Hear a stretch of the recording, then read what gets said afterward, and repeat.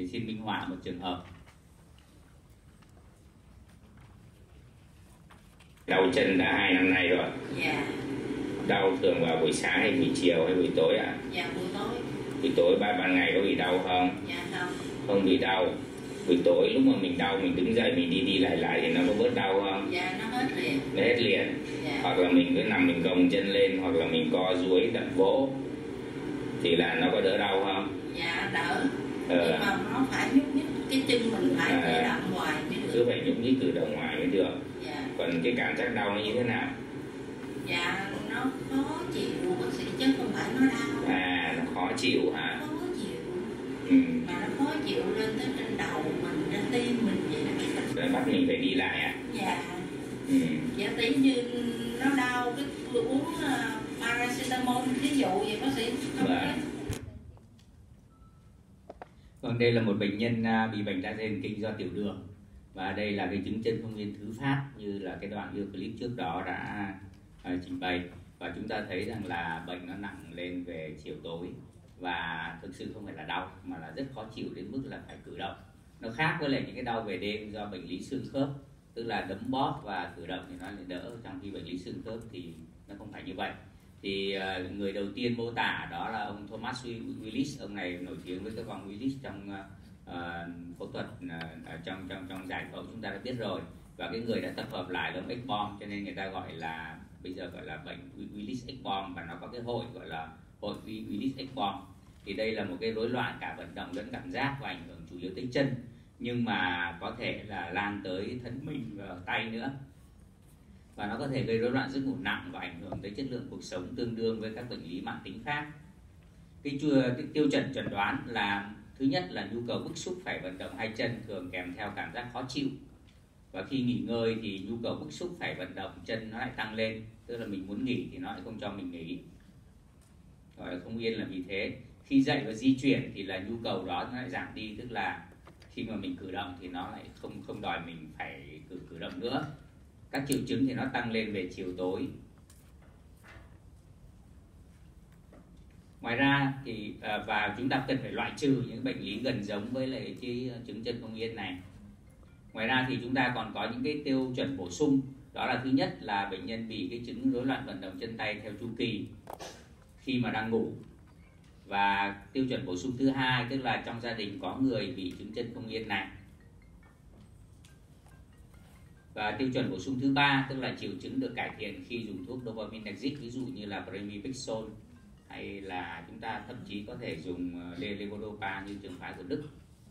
À, để chẩn đoán thì thông thường chúng ta chỉ cần lâm sàng hỏi bệnh giống như vừa rồi thôi và chúng ta ít khi phải dùng đến cái đa ký giấc ngủ. Tuy nhiên đa ký giấc ngủ thì giúp chúng ta uh, chẩn đoán là cái hội chứng chân không yên nó có thể đi kèm với những bệnh lý khác ví dụ như là chứng ngừng thở khi ngủ chẳng hạn thì đây là một ông cụ mà bị cái chứng chân không yên, nhưng mà lại có kèm theo là ngừng thở khi ngủ. Một ông cụ 72 tuổi.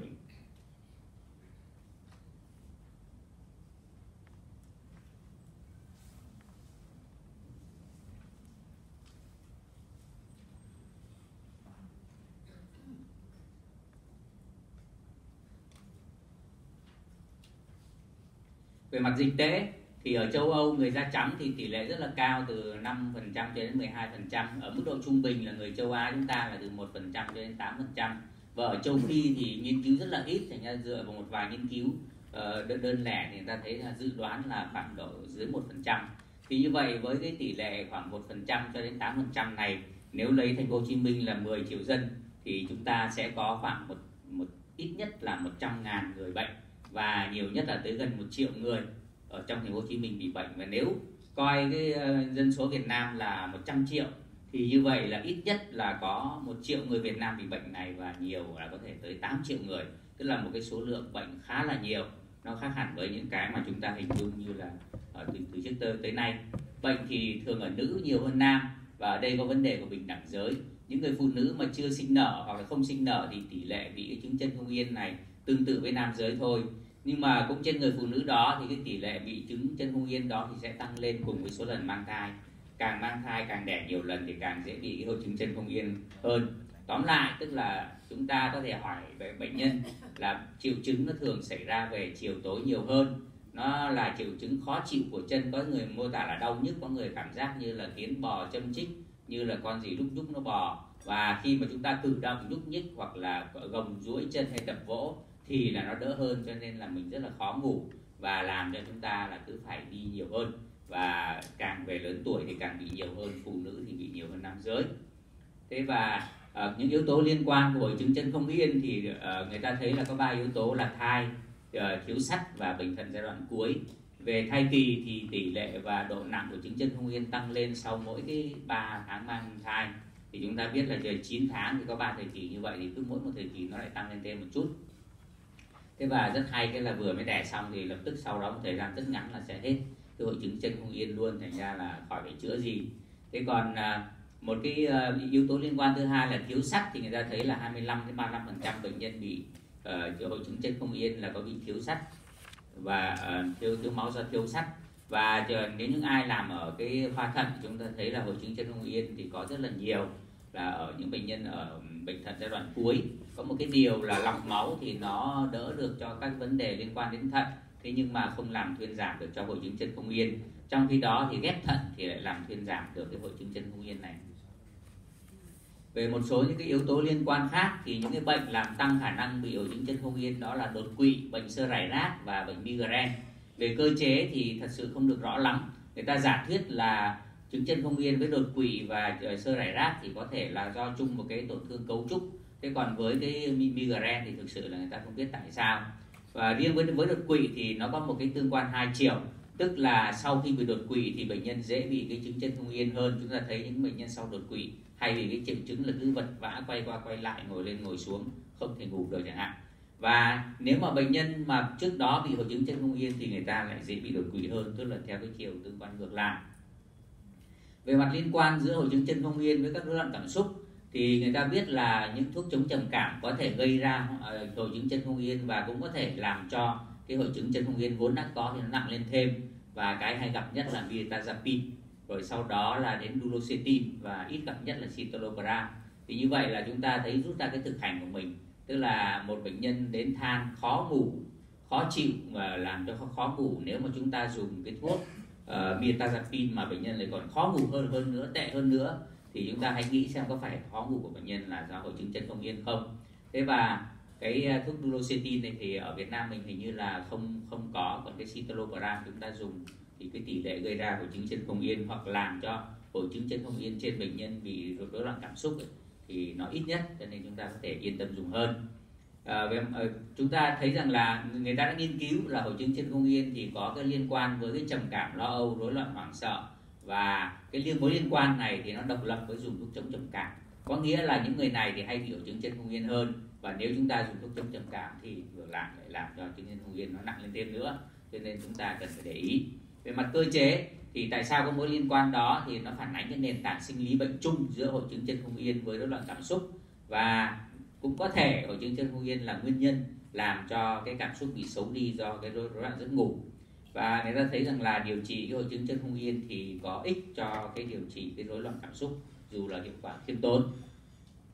Về mối liên quan đối với bệnh tim mạch thì nó làm cho tăng nguy cơ bệnh tim với tỷ số chênh lên tới 2,5 và cái cơ chế của nó thì đa số bệnh nhân hội chứng chân không yên thì có bị cái chứng vận động chi thể theo chu kỳ khi ngủ à, như là cái động tác là khi ngủ nó cứ giật chân lên giật giật giật, giật tay lên đó. Thì khi mà có những động tác đó thì nó làm tăng cái hoạt tính giao cảm làm tăng nhịp tim và tăng huyết áp. Và do vậy là nó có liên quan đến bệnh lý tim. Thì ngoài ra thì cái ờ, chứng chân không yên nó làm cho rối loạn cái giấc ngủ và điều rối loạn điều hòa cảm xúc thì nó làm được góp phần thêm vào cái nguy cơ tim mạch. Còn uh, điều trị hội chứng chân không yên thì có làm thay đổi được nguy cơ về bệnh lý mạch máu không? Thì nếu mà chúng ta dùng cái rotigotin tức là cái à, thuốc dán hiện nay chúng ta có dưới cái tên việt dược ở Việt Nam là Nupro thì có nghiên nghiên cứu chỉ ra rằng nó làm giảm mạnh được cái hiện tượng tăng huyết áp về ban đêm. Còn ờ, chúng tôi cũng à, dùng thử cái à, um, pramipexol với tên việt dược là là, là Cipron thì uh, tại vì mình chưa làm nghiên, nghiên cứu nên là cũng không biết nó như thế nào.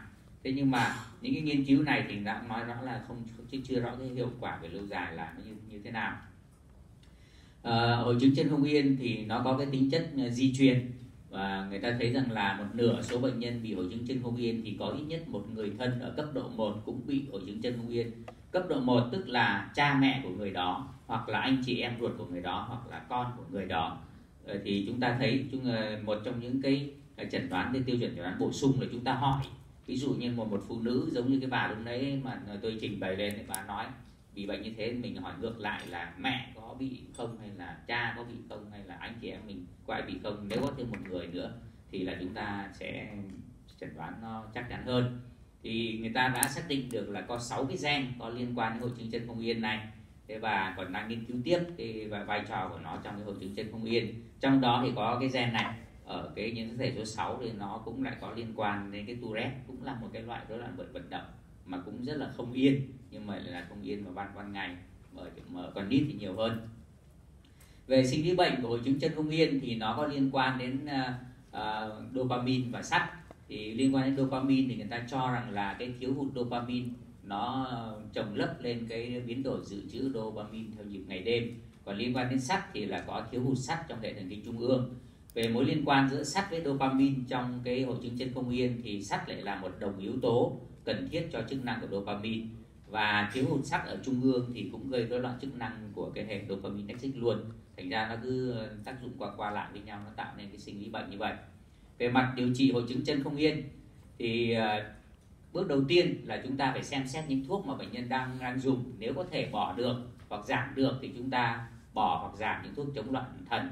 Ví dụ chúng ta biết là risperidone hay là à, haloperidone haloperidol chẳng hạn thì nó rất là hay gây hội chứng chân không yên này thế và một cái thuốc uh, chống chóng mặt ngày xưa chúng ta rất hay dùng vimperam uh, là metoclopramide nó cũng rất là hay gây những cái rối loạn về vận vận động trong đó thì có hội chứng chân không yên. Và nếu bệnh nhân đang dùng thuốc chống trầm cảm thì chúng ta nên thay đổi thuốc chống trầm cảm.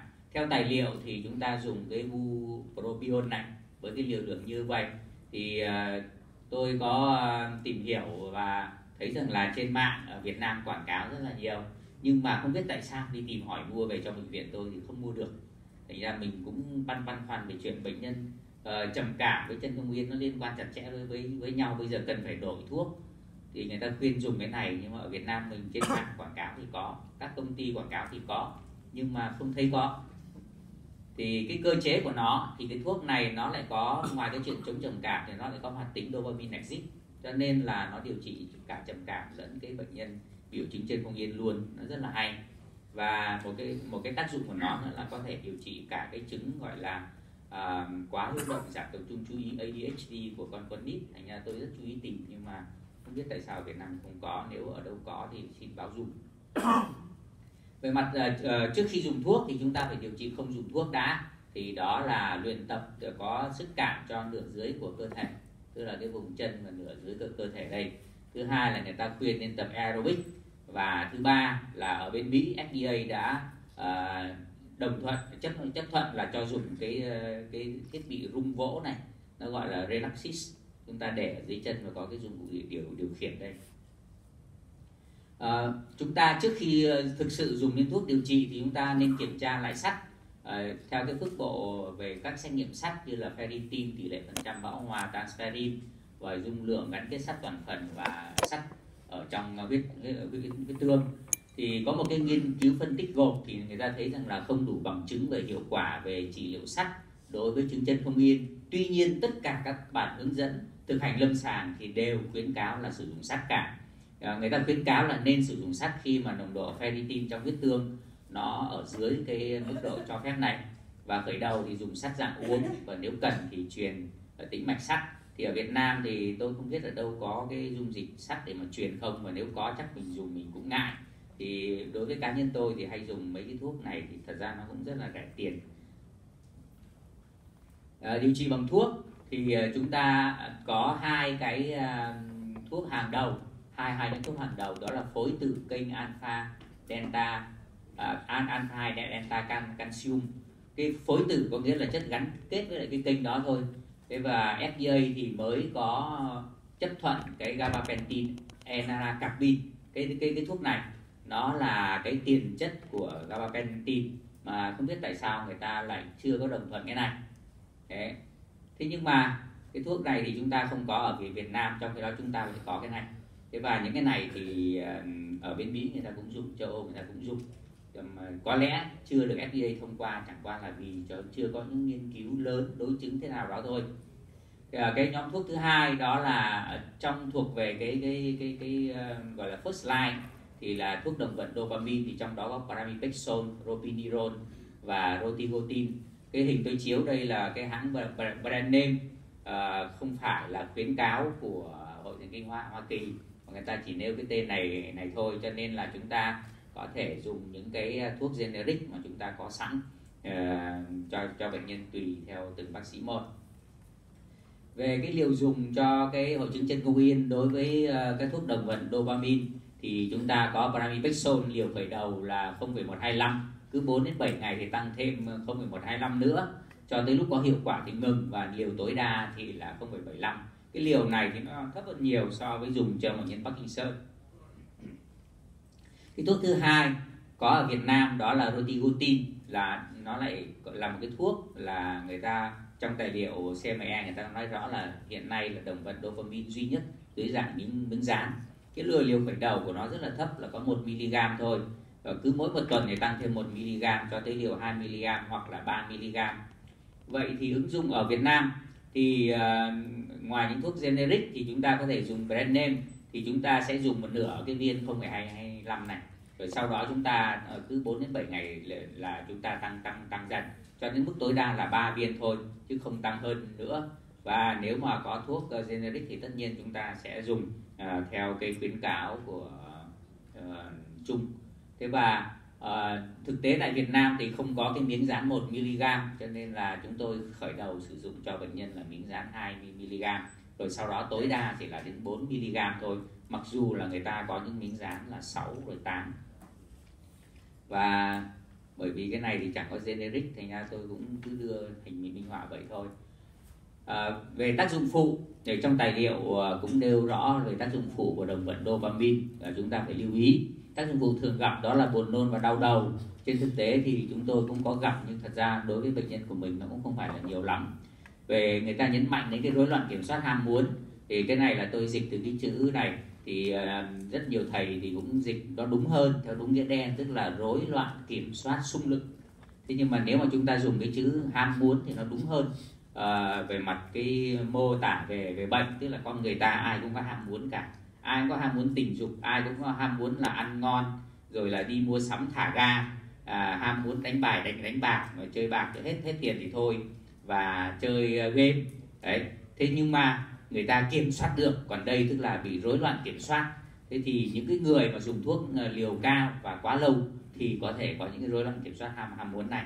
Những cụ ông trở nên là đi thích hàng của lạ. Những cụ bà là sẽ đánh bạc trên mạng thâu đêm, hoặc là đi chợ mua hết sạch tiền thôi, chất đồ về không biết để làm gì, hoặc là những người ăn không biết lúc nào no cả. Thế thì chúng ta nên giải thích cho bệnh nhân trước về tác dụng phụ và mỗi lần bệnh nhân quay lại tái khám thì chúng ta nên định kỳ hỏi xem có vấn đề hay không tuy vậy những cái này không phải là phiền toái toái lắm trong cái dùng uh, các thuốc dopamine uh, Netflix mà cái hiện tượng tăng cường mới là cái hiện tượng phiền toái. Tức là ban đầu chúng ta dùng thì rất là tốt bệnh nhân cảm thấy rất là hay. Thế nhưng mà càng về sau thì triệu chứng nó lại càng tăng lên và nó tăng lên về mặt không gian và tăng lên về mặt không thời, thời gian. Tức là mới đầu chứng chân không yên đúng theo ờ, cái nghĩa của nó là chỉ ở chân thôi. Nhưng về sau nó lan lên thân mình và nó lan lên cả tay luôn thế và theo thời gian, tức là mới đầu thì là trước khi đi ngủ ban đêm thì mới bị, về sau là 7 giờ tối đã bị, về sau là 5 giờ chiều đã bị, rồi về sau thậm chí buổi trưa cũng bị luôn. Tức là khi chúng ta dùng liều cao và kéo dài thì nó có thể có những cái hiện tượng tăng cường như vậy.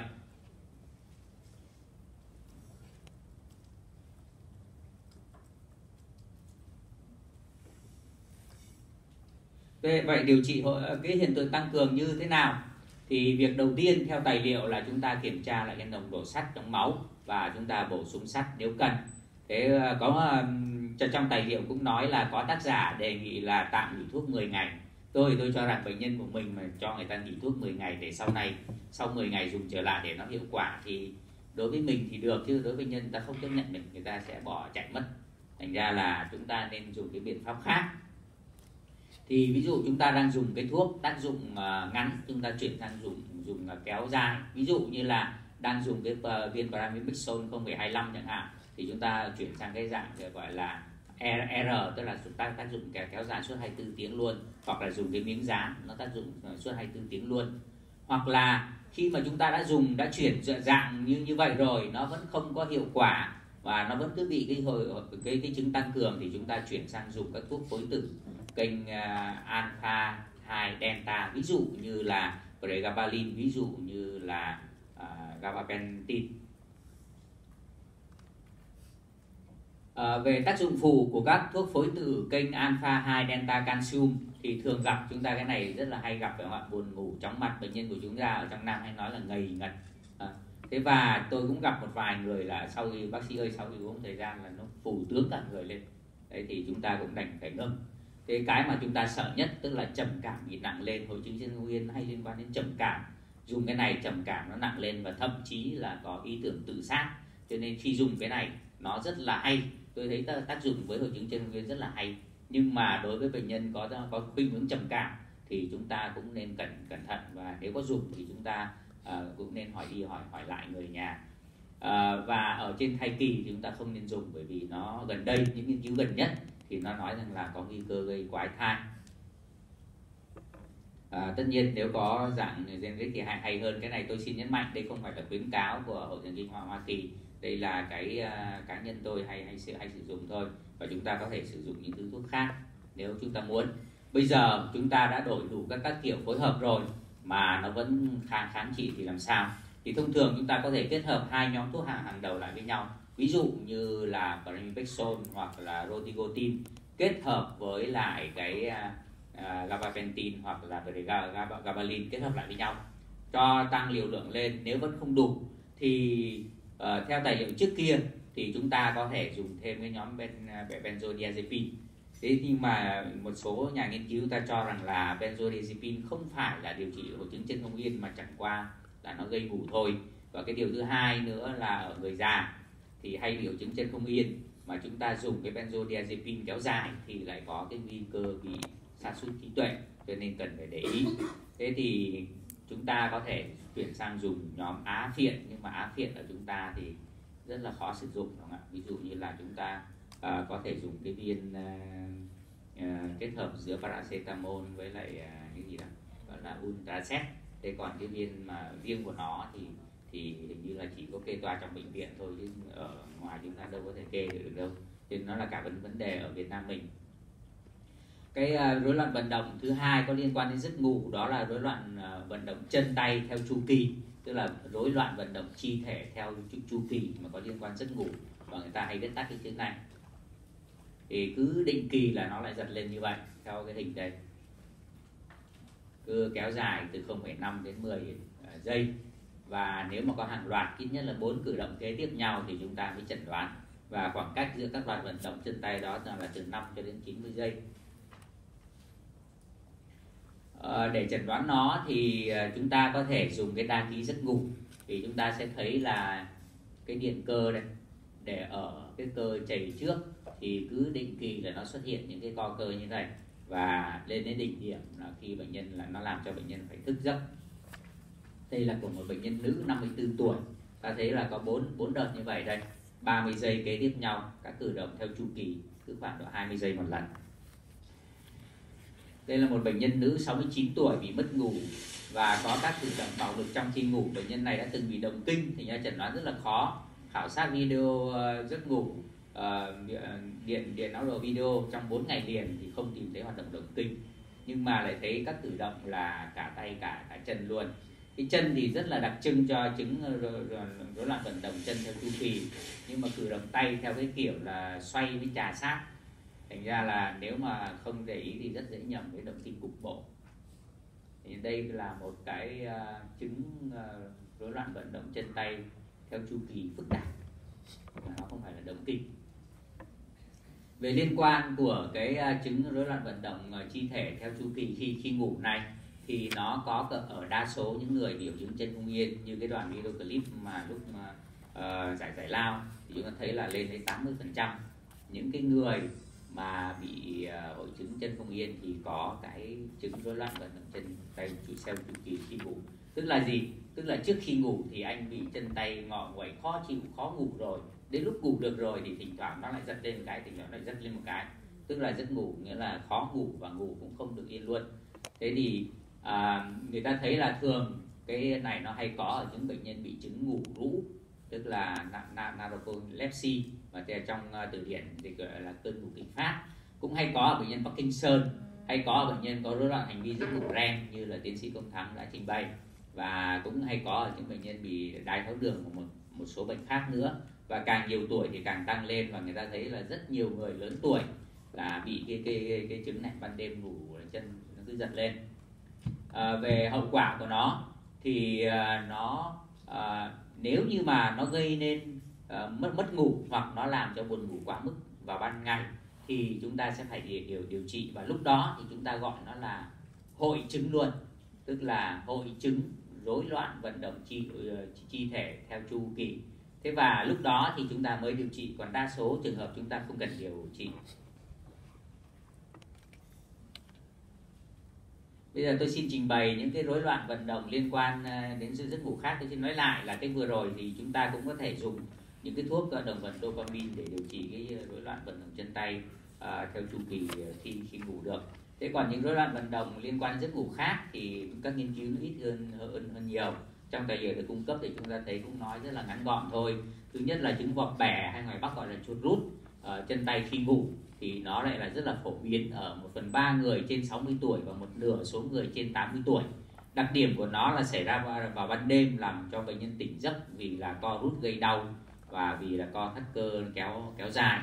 Và nếu mà vọt bẻ chân cả khi thức giấc nữa và nếu mà vọt bẻ này nó lan tỏa ra cả phía trên của của chân lên cả thân mình nữa thì chúng ta cần phải coi chừng có thể có các bệnh thần kinh cơ khác, chứ không phải chỉ có một cái chứng vọt bẻ lành tính như vậy về mặt điều trị trước đây thì người ta dùng cái quinin để mà điều trị. Thế nhưng mà FDA đã khuyến cáo là chúng ta không nên dùng bởi vì nó có nguy cơ loạn nhịp tim và biến chứng về huyết học. Ê, những phương, phương pháp khác thì người ta khuyên là kéo giãn chân thì ít xâm lấn nhất. Này thì chả cần dạy mình biết tức là chuột vỏ mẹ thì kéo kéo nó ra. Thế còn dùng thuốc thì à, chúng ta dùng cái diazen là một cái thuốc ở bên tim mạch. Và đặc biệt là cái thuốc maze thì rất là hữu ích cho phụ nữ có thai chúng ta cũng có thể dùng gabapentin và có thể dùng các thuốc uh, chống động kinh nhóm phong bế kinh natri ví dụ như là carbamazepine, oxcarbazepine là lamotrigine. Có thể dùng các vitamin nhóm B, verapamil và carisoprodol cái này tôi tôi không không không biết. Uh, cái này nằm ngoài cái uh, giáo trình của bên Hoa Kỳ người ta đưa. Thì về thực tế thì uh, um, bệnh nhân của chúng tôi thì vọc bẻ cũng nhiều người ta tới người ta khai thế thì mình hay tìm xem nguyên nhân nó là cái gì. Thì cá nhân tôi đây đây đây là đây là ngoài chương chương trình ha. Cả cá nhân tôi hay thấy ở những cái ông bà già mà vì cái chứng hẹp ống sống thắt lưng. Đấy, bị hội chứng thắt lưng mãn mãn tính. Hoặc là những người bị bệnh đa dây thần kinh ví dụ như là do rượu hay là do tiểu tiểu đường. Và khi mà mình điều trị cái bệnh gốc mình kết hợp thêm với lại cái paramipexol uống trước khi đi ngủ khoảng độ 2 tiếng đồng hồ thì bệnh nhân lại hết và hết khá là lâu. Hoặc là thậm chí mình có thể dùng sang cái pregabalin hoặc là gabapentin thì bệnh nhân hết vỏ vẻ và đấy là cái kinh nghiệm của cá nhân tôi, chứ chưa có tài liệu khoa học nào cả. Nếu các anh chị ngồi đây có ai mày mò nghiên cứu xem là cái vỏ bẻ này nguyên nhân của nó ở bệnh nhân của mình nó là cái gì và điều trị mình làm khác biệt so với thế giới thì có khi chúng ta lại làm một cái đề tài nghiên cứu khá là hay và thầy nhị sẽ ủng hộ cho để làm nghiên cứu à, một cái thứ hai nữa là nghiến răng khi ngủ. Thì à, nhiều người có nghiến răng khi khi ngủ và nó chỉ trở thành à, vấn đề khi nó làm cho cái người nằm cùng giường là không ngủ ngủ được. Và chúng ta thấy rằng là khi mà bệnh nhân kia đau mỏi cơ hàm vào buổi sáng và răng nó bị mòn có người mòn hết cả răng luôn. Và chúng ta thấy rằng là bệnh nhân có thể song hành cùng với cái chứng ngừng thở bị uh, do tắc nghẽn khi ngủ nếu như cũng bệnh nhân đó mà ban ngày cũng bị nghiến răng thì có khi người ta bị bệnh lo lo âu chứ không phải là riêng cái rối loạn vận động liên quan đến giấc ngủ nữa. Về mặt điều trị thì à, cũng rất là đơn giản tức là đến bác sĩ nha nha khoa. Tôi không biết ở mình có làm cái này không. Thế và chúng ta có thể dùng clonazepam thì như tiến sĩ trần công thắng có nói mình tìm kiếm thuốc này nó hơi khó. À, chúng ta có thể trích botulinum toxin vào cái cơ hàm. Thế thì ở ở một số trung tâm có kinh nghiệm chúng ta có thể làm được còn cái thuốc clonidine này cũng là một cái thuốc ở bên tim mạch ở Việt Nam mình cũng cũng có, tôi chưa có kinh nghiệm sử dụng. Còn đây là một cái rối loạn vận động theo nhịp liên quan đến giấc ngủ. Con nít thì bị nhiều hơn người lớn, nó ngược lại với mấy cái kia. Đấy, chúng ta thấy. Có nhiều người họ đập rất là mạnh và thường là đập đập đầu, lắc đầu hoặc là đập đầu.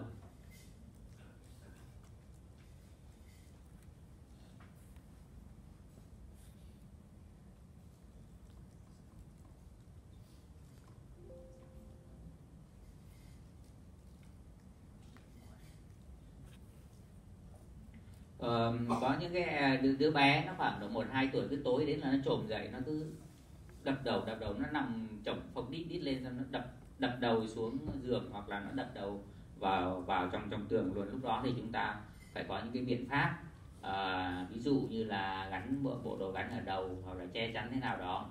Và người ta cũng có đặt là vấn đề là có thể nghiên cứu sử dụng cái clonazepam và lại một lần nữa.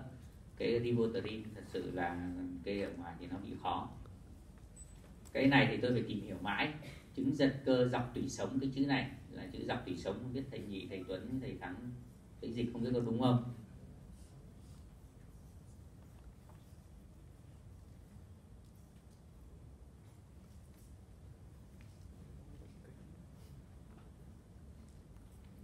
Thì chúng ta chẩn đoán thì cần có đa khí giấc ngủ, có điện não đồ, có video và phải có gắn thêm cái điện cực điện cơ ở dọc cái cơ ở thân mình và ở ngực nữa về mặt điều trị thì thường là khó khăn lại một lần nữa dùng clonazepam. Nhưng mà chúng ta lại có thêm cái thuốc nữa là tobiramat tức là topamax hoặc là những cái thuốc generic khác. À, tài liệu cũng có nhấn mạnh với chúng ta rằng ờ, à, coi coi chừng là chẩn đoán nhầm hoặc là bị chẩn đoán quá mức vì có thể là có những rối loạn vận động có tính chất là chức năng thôi. Nó chồng lên và chúng ta chẩn đoán sang cái bệnh đó. Tóm lại thì theo tài liệu cung cấp thì các rối loạn vận động liên quan giấc ngủ thì rất thường gặp có thể làm giảm chất lượng cuộc sống và làm gián đoạn giấc ngủ. Điều trị cái hội chứng chân không yên thì đã có rất nhiều nghiên cứu phong phú và đa dạng và chúng ta đã nắm được vững rất là nhiều. Nhưng mà các rối loạn vận động khác liên quan giấc ngủ khác thì các nghiên cứu bị hạn chế nhiều hơn và những cái lựa chọn của chúng ta cũng bị hạn chế nhiều hơn. À, xin cảm ơn à, uh, cả và cảm ơn phó giáo sư tiến sĩ nguyễn hữu công các bài báo cáo cũng là một vấn đề mà đôi khi trong phòng khám uh, hoặc là trong chuyên ngành mình có thể gặp. Đây là cách điều trị và xử trí. Cái khó nhất của những rối loạn vận động này đôi khi mà mình cần phải cần phải bệnh nhân cần phải được ghi lại. Ví dụ xảy ra ban đêm đó, tôi cũng gặp rất là nhiều trường hợp như vậy thì người ta ghi lại. Có những trường hợp chẩn đoán điều trị động kinh tới cả chục năm nhưng mà khi ghi lại cái điện cái cái cái cái, cái video thì mình luận ra là nó không không có đúng. Và khi điều trị lại thì mình thấy rõ ràng nó rất là phù hợp trong những trường hợp đặc biệt là trẻ em cái tuổi.